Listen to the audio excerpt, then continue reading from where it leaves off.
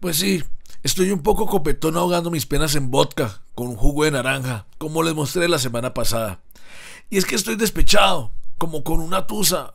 Un mal es que llevo meses esperando la llamada del presidente Biden y nada.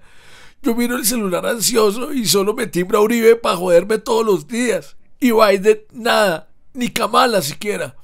Pero yo qué les he hecho para que me traten con tal desprecio.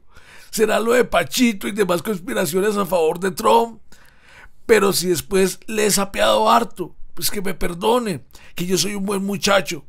¿Será que estoy aislado?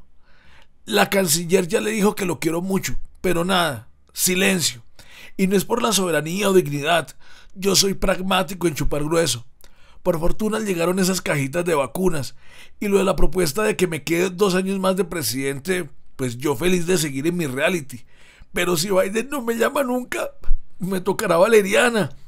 Ay, Hassan, sírvame más vodka con naranja, porfa. Café picante.